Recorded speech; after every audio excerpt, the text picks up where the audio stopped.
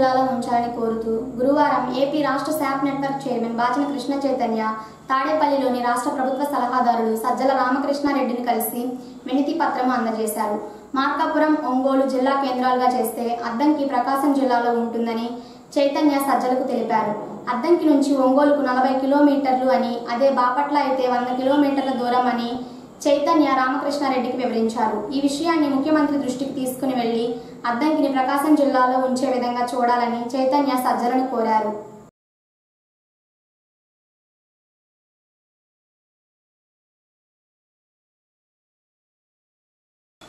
జిల్లాల పునర్విభజన ప్రక్రియ అశాస్త్రీయంగా ఉందని ప్రభుత్వ ప్రతిపాదనలు అస్తవ్యస్తంగా ఉన్నాయని జిల్లా అవసరాలు ప్రజల ప్రయోజనాల దృష్ట్యా ప్రజల సలహాలు సూచనలు పరిగణలోనికి తీసుకొని నూతన జిల్లాల ఏర్పాటు ఆవశ్యకతను గుర్తించాలని అద్దంకి శాసనసభ్యులు గొట్టిపాటి రవికుమార్ పచ్చూరు శాసనసభ్యులు ఏలూరి సాంబశివరావు కొండేపి ఎమ్మెల్యే బాల వీరాంజనేయ స్వామి కలిసి గురువారం గుంటూరులోని ప్రభుత్వ ప్రణాళిక శాఖ కార్యదర్శి విజయ్ కుమార్ను కలిసి వినతి పత్రము అందజేశారు.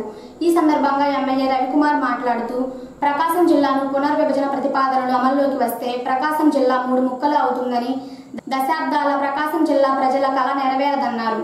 దీనికి తోడు పరిపాలన సౌలభ్యం కోసం ఏర్పాటు చేసిన జిల్లాల విభజనతో ప్రజలు అనేక ఇబ్బందులు పడాల్సి వస్తుందని రవికుమార్ తెలిపారు.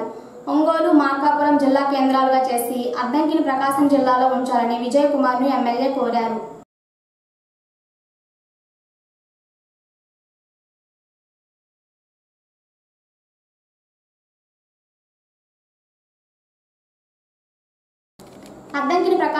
జిల్లాలో కొనసాగించాలని కోరుతూ అద్దంకి పట్టణంలోని స్థానిక బంగ్లా రోడ్లో అద్దంకి జేఏసీ ఆధ్వర్యంలో జరుగుతున్న రిలే నిరాహార దీక్షలు గురువారంతో ముగిశాయి. గత నెల పదహారవ తేదీ నుంచి రిలే నిరాహార దీక్షలు ప్రారంభం కాగా పదహారు రోజుల పాటు రిలే నిరాహార దీక్షలు జరిగాయి. ముగింపు రోజు జనసేన పార్టీ నాయకులు సాధు వెంకటేష్ శ్రీనివాసాచారి సాంబా పున్నారావు అజయ్ అఖిల్ పరువులు దీక్షలో కూర్చోగా దీక్షలను ఏపీ రైతు సంఘం జిల్లా ప్రధాన కార్యదర్శి వి. హనుమారెడ్డి సీనియర్ న్యాయవాది అంజురెడ్డి గంగయ్య త్రిమూర్తులు కలిసి ప్రారంభించారు. అలాగే ఆంధ్రప్రదేశ్ వర్కింగ్ జర్నలిస్ట్ యూనియన్ రాష్ట్ర అధ్యక్షులు ఐవి సుబ్బారావు చెన్నుపాటి రాంబాబు జర్నలిస్టులు కలిసి సంఘీభావం తెలియజేశారు. ఈ సందర్భంగా ఐవి సుబ్బారావు మాట్లాడుతూ ఎంతో చరిత్ర కలిగిన అద్దంకిని ప్రకాశం జిల్లాలో కొనసాగించమని ప్రజలు నిరాహార దీక్షలు చేస్తున్నారంటే అద్దంకి ప్రాధాన్యత గురించి తెలియని పాలకుల నియమనాలు బాధాకరంగా ఉందని అద్దంకి నియోజకవర్గాన్ని మరింత అభివృద్ధి చేసుకునే దశలో పాలకులు రాజకీయ దురుద్దేశంతో ఇలాంటి నిర్ణయాలు తీసుకోవటం దౌర్భాగ్యం అని జిల్లాల విస్తరణ పేరుతో ప్రజలతో పాలకులు మైండ్ గేమ్ ఆడుతున్నారని ఐవి సుబ్బారావు మండిపడ్డారు. అద్దంకిని ప్రకాశం జిల్లాలో ఉంచాలన్న అంశము కలెక్టర్ వద్ద ఏమీ లేదని మంత్రి మరియు పాలకుల చేతిలో ఉందన్నారు. అద్దంకిని ప్రకాశం జిల్లాలో ఉంచాలని అన్ని రాజకీయ పార్టీలు గట్టిగానే పోరాటం చేస్తున్నారని నేడు ఎమ్మెల్యే రవికుమార్ ప్రణాళికల అధికారి విజయ్ కుమార్ను కలిసి వివరించడం జరిగిందన్నారు. అద్దంకిని ప్రకాశం జిల్లాలోనే ఉంచాలి. అద్దంకిని రెవెన్యూ డివిజన్ కేంద్రంగా చేయాలని నిరసన దీక్షలు చేయాల్సిన పరిస్థితి రావడమే చాలా దారుణమైన విషయం ఆందోళనకరమైన అంశం. ఈరోజు చాలా జిల్లా కేంద్రాలు అవుతున్న వాటితో పోలిస్తే అంతకన్నా ఎక్కువ వసతులు సౌకర్యవంతమైన ప్రాంతంగా అద్దంకి పట్టణాన్ని మనం చూస్తున్నాం.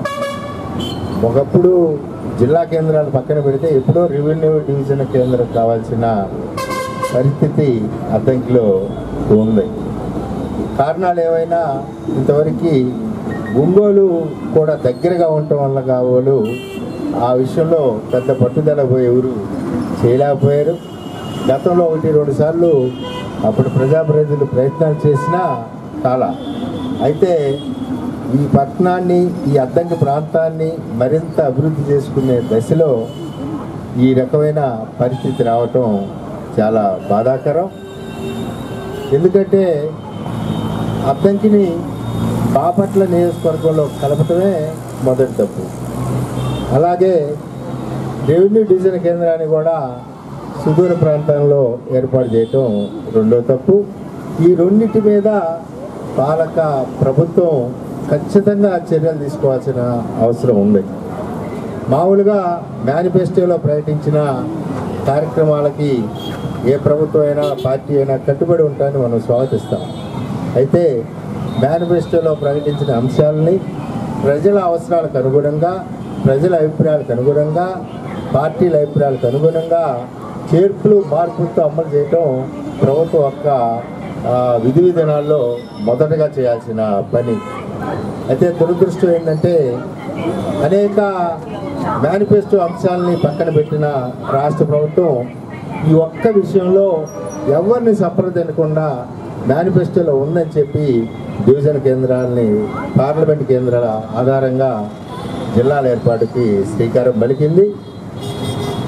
మరీ దారుణమైన పరిస్థితి సొంత పార్టీలోని ప్రజాప్రతినిధుల అభిప్రాయాలు కూడా తీసుకోకపోవడం అనేది ప్రజాస్వామ్యంలో సరైన చర్య కాదు. రాష్ట్ర ముఖ్యమంత్రి జగన్మోహన్ రెడ్డి గారు ఒక అత్యంత విషయమే కాదు. ఈరోజు ప్రకాశం జిల్లాలో ఆ పార్టీకి చెందిన మంత్రులు ఎమ్మెల్యేలు సీనియర్ మంత్రులు కూడా ఈ విషయాలను తాను ఆయన దృష్టి తీసుకెళ్ళేందుకు పడిగాపులు కాస్తుంటే ఇంట్లో లేకుండా వాళ్ళ అభిప్రాయాన్ని కూడా తీసుకోకపోవటం అది ప్రజాస్వామ్యంలో ఒక ముఖ్యమంత్రి చేయాల్సిన పని కాదు.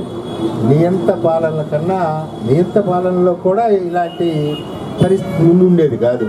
నాలుగు సార్లు ఎమ్మెల్యే చేసి ఒక మాజీ మంత్రి వాళ్ళ నియోజకవర్గ సమస్యలు చెప్పుకోవడానికి విభజనలో జరుగుతున్న అన్యాయాన్ని చెప్పుకోవడానికి ముఖ్యమంత్రి ఇంటర్వ్యూ కోసం ఇరవై రోజుల నుంచి పడికాపులు కాస్తుంటాం. అది ప్రజాస్వామ్యాన్ని అర్పించిన ఆ పార్టీకి కూడా మంచి పరిణామం కాదు. ఏర్పాటు చేయాలనే రాష్ట్ర ప్రభుత్వం నిర్ణయాన్ని స్వాగతిస్తూ అయితే పరిపాలన సౌలభ్యం కోసం ప్రజలకు అందుబాటులో జిల్లా కేంద్రాలు ఉండే పద్ధతిలో వాటిని ఏర్పాటు చేయడం ద్వారా ప్రజలకి సౌకర్యం పెరుగుతుంది. రవాణా సమయము అట్లాగే ఖర్చులు తగ్గుతాయి. పరిపాలన అందుబాటులోకి రావాలనేది మనందరికీ భిన్నాభిప్రాయం ఏమీ లేదు. కానీ రాష్ట్ర ప్రభుత్వం అశాస్త్రీయంగా పార్లమెంటు నియోజకవర్గాలను కేంద్రంగా ఏర్పాటు చేస్తూ తీసుకున్న నిర్ణయం అశాస్త్రమైంది. ఆచరణలో ప్రజలకి ప్రజలకి ఇబ్బందిని అసౌకర్యాన్ని కలిగించే పరిస్థితి ఉంది. మరి వాస్తవంగా మన జిల్లాకు సంబంధించి మరి రెండు జిల్లాలుగా ఏర్పాటు చేయాలని మార్కాపురం జిల్లాని కేంద్రంగా ఏర్పాటు చేయటం ద్వారా పశ్చిమ ప్రాంతం ప్రకాశం జిల్లాలో అత్యంత వెనకబడి నిత్యం కరువు కాటకాలకు గురయ్యే పశ్చిమ ప్రాంతానికి అందుబాటులో ఉన్న ప్రాంత అభివృద్ధికి ఉపయోగపడుతుందని అట్లాగే ఒంగోలు కేంద్రంగా జిల్లా ఉంది. మరి ఈ కేంద్రానికి అందుబాటులో ఉన్న దగ్గరలో ఉన్న ప్రాంతాలని ఒంగోలు అట్టి పెట్టాలనేది విచిత్రమైన పరిస్థితి ఏంటంటే ఒంగోలు ముప్పై ఏడు కిలోమీటర్లో ఉన్న అద్దంకేమో బాపట్ల నియోజకవర్గం బాపట్ల జిల్లా కేంద్రంలో చేరుస్తున్నట్టు. మరి వంద కిలోమీటర్ల దూరం ప్రయాణం చేయాలా? మరి అద్దంకి పైన ఉన్న దర్శేమో ఒంగోలు అట్టి పెట్టడం అంటే దర్శి ఒంగోలు రావాలంటే అద్దంక అద్దంక మీదుగా రావాల్సిన పరిస్థితి. మరి ఇది అసహజమైంది అశాస్త్రీయమైంది. రాష్ట్ర ప్రభుత్వం ఏదన్నా చేయాలంటే కేవలం రాజకీయ ప్రయోజనాలను దృష్టిలో పెట్టుకొని కాకుండా ప్రజల ప్రయోజనాన్ని ప్రజల సౌకర్యాన్ని దృష్టిలో పెట్టుకొని ఆలోచించాల్సిన బాధ్యత రాష్ట్ర ప్రభుత్వం మీద ఉంది. మరి ఇన్ని రోజుల నుంచి మరి అనేక ప్రాంతాల్లో ఈ జిల్లాల ఏర్పాట్లో వాళ్ళకున్న అసౌకర్యాన్ని ఇబ్బందిని రాష్ట్ర ప్రభుత్వం దృష్టికి తీసుకెళ్ళినప్పటికీ స్థానికంగా ఉన్న ప్రజాప్రతినిధులు కానీ ఈ జిల్లా మంత్రులు కానీ ఈ విషయాన్ని పట్టించుకోకపోవటం అనేది బాధ్యత రాహిత్యమని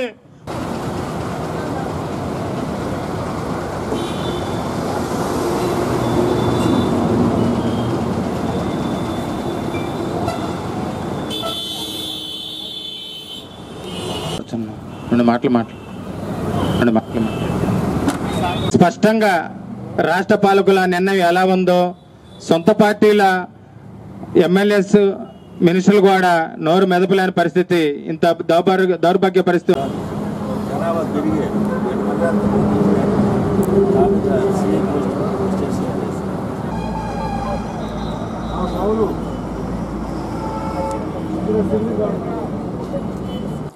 అద్దంకి మండలం చక్రాయపాలెం గుండ్లకమ్మ నది సమీపంలో అనుమతి లేకుండా యథేచ్ఛగా చేపల చెరువు తవ్వకాలు చేపట్టారు.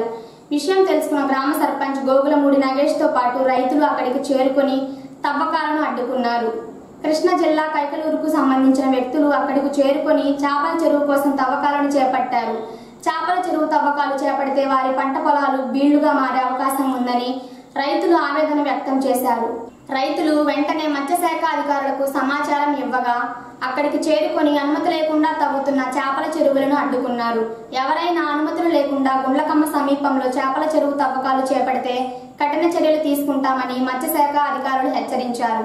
ఈ సందర్భంగా చక్రాయపాలెం గ్రామ సర్పంచ్ నగేష్ మాట్లాడుతూ మత్స్యశాఖ వారి అనుమతులు లేకుండా చక్రాయపాలెం గ్రామ శివారులో ఉన్న పొలాల్లో చేపల చెరువులు తవ్వకాలు చేస్తుండగా తెలుసుకొని అడ్డుకున్నారని పొలాల మధ్యలో చేపల చెరువులు తవ్వకాలు చేపడితే దిగువన ఉన్న పంట పొలాలు దేనికి పనికిరాకుండా పోతాయన్నారు. చేపల చెరువులు ఏర్పాటు చేసుకునేవారు అధికారుల నుంచి అనుమతులు పొందాలని నగేష్ తెలిపారు. నా పేరు నగేష్ నేను చక్రాయపాలెం సర్పంచ్ను. మా చక్రాయపాలెం గ్రామ పరిధిలో ఈరోజు అక్రమంగా నిర్మిస్తున్నటువంటి తవ్వుతున్నటువంటి చెరువులను ఆపేయటం జరిగింది. వీళ్ళు ఎటువంటి పర్మిషన్ లేకుండా చుట్టూరు పంట పొలాలు ఉన్నటువంటి ప్రదేశంలో ఎక్కడో కాయకలూరు తదితర ప్రాంతాల నుంచి వచ్చినటువంటి సాగుదారులు ఎవరైతే ఉన్నారో వీళ్ళందరూ అక్రమంగా చెరువులు తవ్వేసి సాగు చేస్తున్నారు గత కొంతకాలంగా ఒక ఐదారు సంవత్సరాల క్రితం కూడా ఇట్లాగే తవ్వేసి భావనాథ్ చెరువు ఏదైతే ఉందో దాన్ని బాగా పొల్యూట్ చేసేసి అక్కడ మత్స్య సంపద కానివ్వండి దిగున పంట సాగు చేసేటువంటి రైతు వారీలు కూడా ఇబ్బంది ప- ఇబ్బందికరంగా ఉండేటటువంటి పరిస్థితులు ఏర్పరుస్తూ ఉన్నారు. కాబట్టి మేము వీడి పర్మిషన్లు తెచ్చుకొని ఇది చేసుకోండి అని చెప్పేసి చెప్తా ఉన్నాము. కానీ వీళ్ళు అక్రమంగా వచ్చేసి ఈ ఇక్కడ చెరువులు తవ్వాలని చెప్పేసి తవ్వుతూ ఉంటే గ్రామంలో ఉన్నటువంటి రైతులు వెంపరాలకు సంబంధించినటువంటి రైతులు మేము అందరం వచ్చి కూడా ఈ యొక్క చెరువులు తవ్వేటటువంటి కార్యక్రమాన్ని ఆపేయటం జరిగింది. మూవ రామకోటయ్య అండి అద్దంకి మండలం. ఇక్కడ ఆరు ఎకరాల పొలం ఉంది మాకు. మేము ఏదో మాగాని పండించుకుంటా ఉన్నాం ఒక ముప్పై నలభై సంవత్సరాల నుంచి. ఇప్పుడు తీసుకొచ్చి చేపల చెరువులు వేస్తున్నాము ప పక్కన అన్నారు. చేపల చెరువు అయితే మాకు ఏ పంట పండదు. ఆ తీసుకొచ్చి ఆ చేప అది ఆ ఎరువు వేస్తారు. కాళ్ళు ఎరువు అని పాడని గుడ్డు కూసి అవన్నీ వేస్తే ఇక మాకు ఊట పట్టేదని ఏ పంట కాదు ఏ పైరు కాదు. కాబట్టి అది మాత్రం వేయటానికి లేదు. ఈ అన్ని పొలాలు మొత్తం ఇక అనవసరంగా పాడైపోతాయి. ఇక మేము పండించుకునేది లేదు పెట్టేది లేదు. ఇక ఏడుతో కూర్చోవలసిందే. అది పరిస్థితి. అందుకని దాన్ని ఆపేసే మార్గం ఏదైనా చెయ్యండి. ఇప్పుడు ఆ చెరువు వేసే పనితే ఇంత ఎత్తునేస్తారు ఆ ఓటంతా కొట్టేదని ఏ పైరు కాదు. ఇప్పుడు ఏదో ఖర్చు పండించుకుని తింటున్నాము. ఇక అది కూడా తినడానికి లేదు పండించుకోవటానికి లేదు. ఈ పొలాలన్నీ వద్దాగా అర్థమైపోవటమే. ఇక మేమేం చేసేది లేదు. కాబట్టి దాన్ని ఆపే మార్గంగా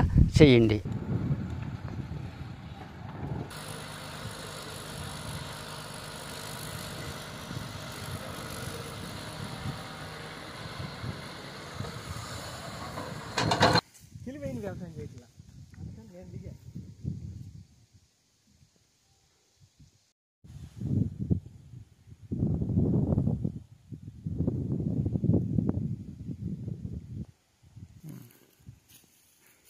పొలం పని చేసుకొని రేయి మగలా ఇది చేసుకోవాలి కానీ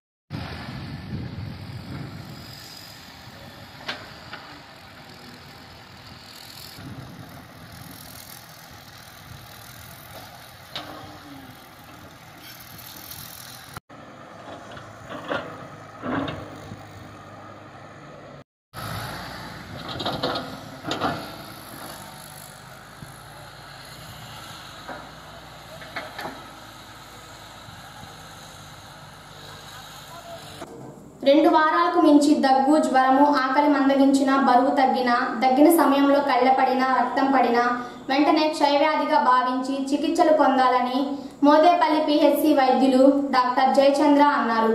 ఫిబ్రవరి ఇరవై నాలుగవ తేదీ నుంచి మార్చి ఇరవై నాలుగవ తేదీ వరకు క్షయవ్యాధి నివారణ మాసోత్సవాల సందర్భంగా గురువారం సింగరకొండ వద్ద ఉన్న గురుకుల పాఠశాలలో క్షయవ్యాధి మీద అవగాహన సదస్సును ఏర్పాటు చేయగా డాక్టర్ జయచంద్ర రాజవర్ధిని హాజరయ్యి విద్యార్థులకు క్షయవ్యాధి మీద అవగాహన కల్పించారు. క్షయవ్యాధి నిర్ధారణ పరీక్షలు అన్ని ప్రభుత్వ వైద్యశాలలు చేస్తున్నారని క్షయవ్యాధి ఉన్నవారు భయపడకుండా ఆరు నెలల మందులు వాడితే నివారణ అవుతుందని జయచంద్ర తెలియజేశారు.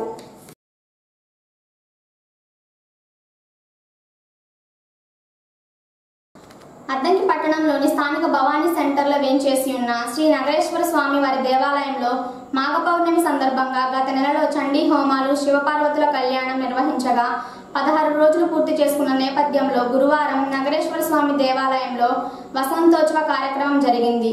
ముందుగా స్వామివారికి వసంతోత్సవం జరిపి తదుపరి అలంకరణ అనంతరము ప్రత్యేక పూజలు నిర్వహించారు. పూజా కార్యక్రమంలో మహిళలు భక్తులు పాల్గొని స్వామివారిని దర్శించుకొని పూజలను తిలకించారు. ఈ సందర్భంగా దేవాలయం ప్రధాన అర్చకులు శర్మ మాట్లాడుతూ ఫిబ్రవరి పదహారవ తేదీన మాఘ పౌర్ణమి సందర్భంగా వెయ్యి స్తంభాల దేవాలయంలో చండీ హోమాలు కళ్యాణం జరిగిందని కళ్యాణం జరిగి పదహారు రోజులు అవుతున్న సందర్భంలో గురువారం దేవాలయంలో వసంతోత్సవ కార్యక్రమం జరిగిందని ముందుగా వసంతోత్సవం జరిపి స్వామివారిని ప్రత్యేకంగా అలంకరణ చేసి పూజా కార్యక్రమంలో నిర్వహించి భక్తులకు తీర్థ ప్రసాదములు అందజేశారన్నారు.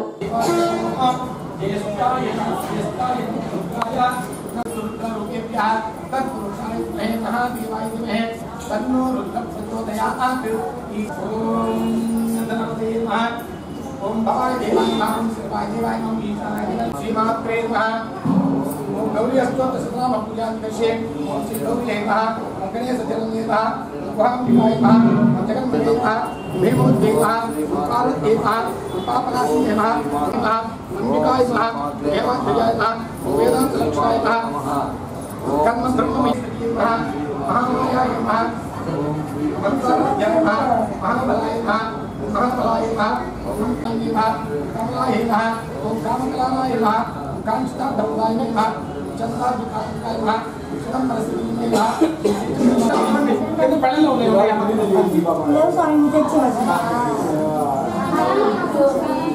ఓం నమః కమలాయ నమః ఓం కామకలాయ నమః ఓం కాంక్షితార్థములాయ నమః చంద్రాభికాయ నమః చిదంబరశ్రీ నమః పళ్ళలో ఉన్నాయి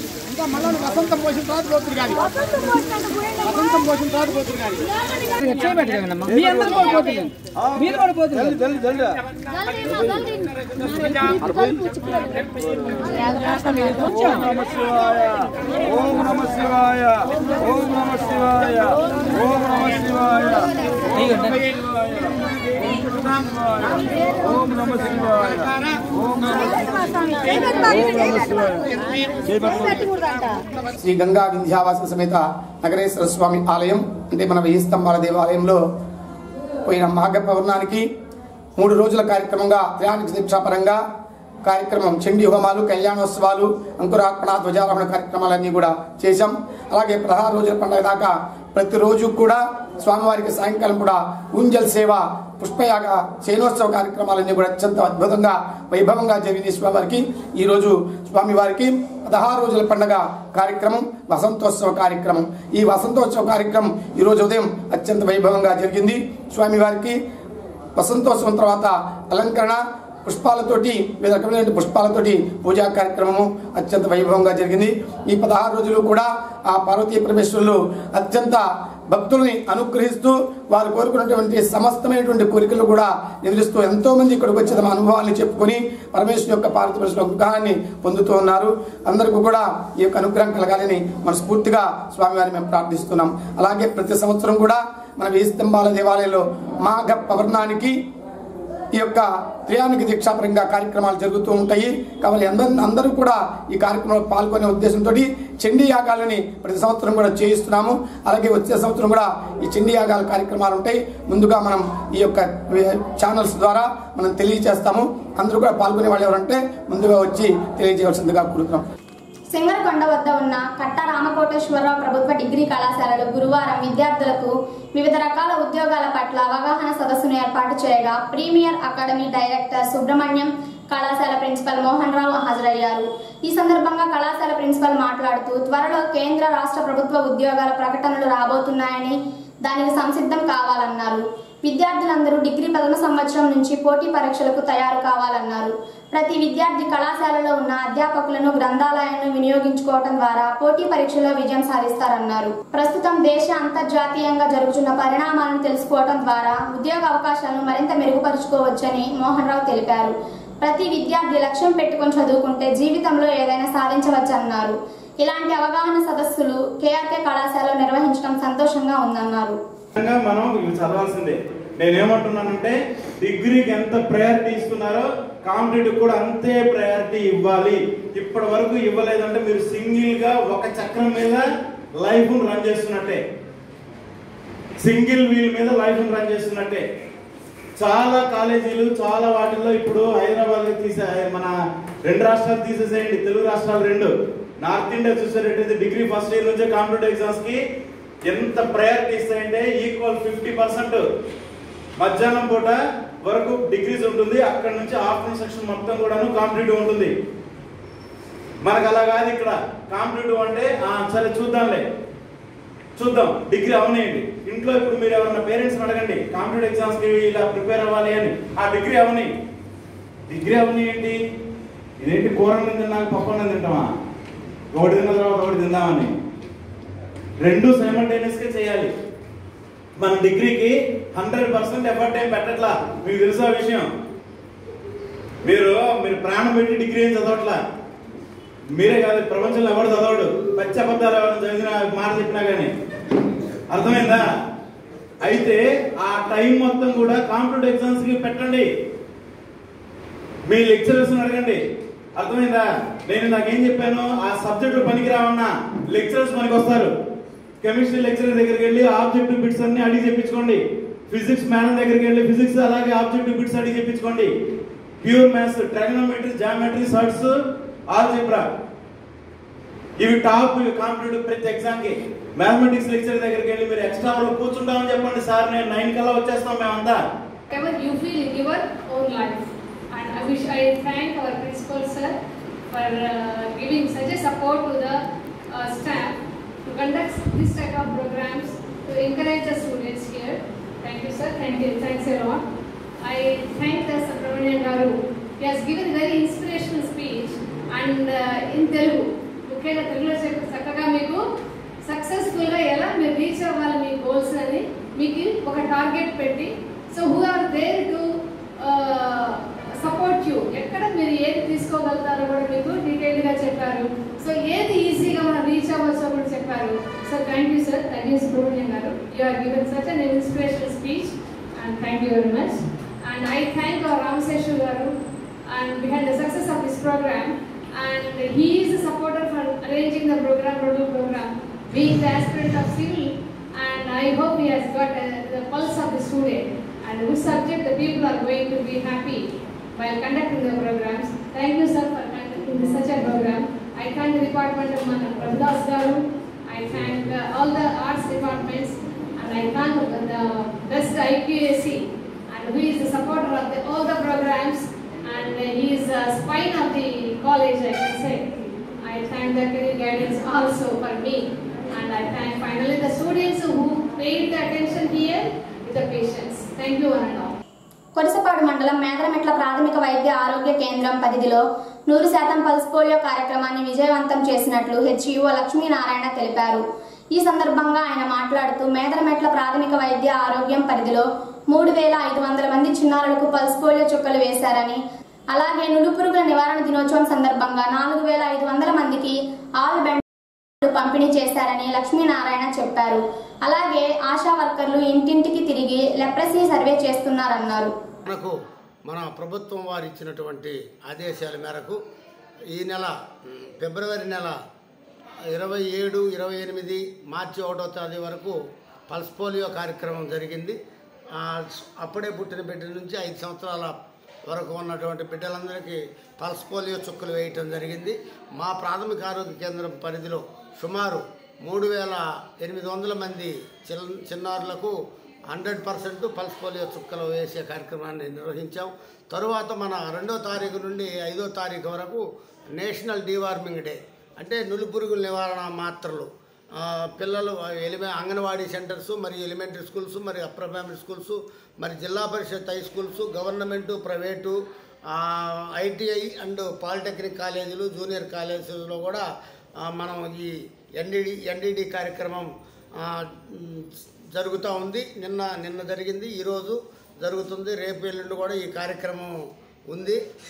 కనుక మనం సుమారు మా ప్రాథమిక ఆరోగ్య కేంద్రం పరిధిలో నాలుగు వేల ఐదు వందలు పైచీలకు ఈ ఎన్డీడీ కార్యక్రమం అంటే నిలుపురు నివారణ మాత్రలు మింగించడం జరుగుతుంది. Hundred percent. అదేవిధంగా మన మా ఆరోగ్య కార్యకర్తలు ఇంటింటి సర్వే నిర్వహిస్తున్నారు.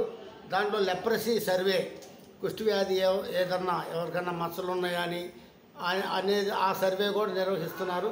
మరియు గర్భిణీ స్త్రీల నమోదు వారికి వ్యాక్సినేషను మరియు రొటీన్ వ్యాక్సినేషన్ పిల్లలకి నెల నెల జరిగేటటువంటి ఈ పోలియో డ్రాప్స్ కానీ ఈ మిగతా పెంటావాలెంట్ వ్యాక్సినేషన్స్ ఇవన్నీ రొటీన్ ఇమ్యునైజేషన్లో జరుపు ఏఎస్ఎన్ సమాప్తం. నమస్కారం.